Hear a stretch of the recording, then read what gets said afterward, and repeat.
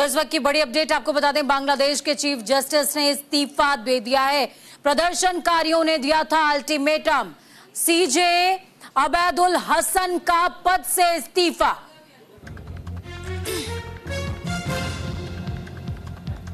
Supreme court परिसर के घेराव के बाद इस्तीफा दिया है।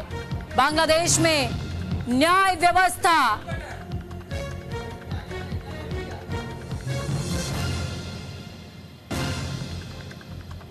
धराशायी होती नज़र आ रही है।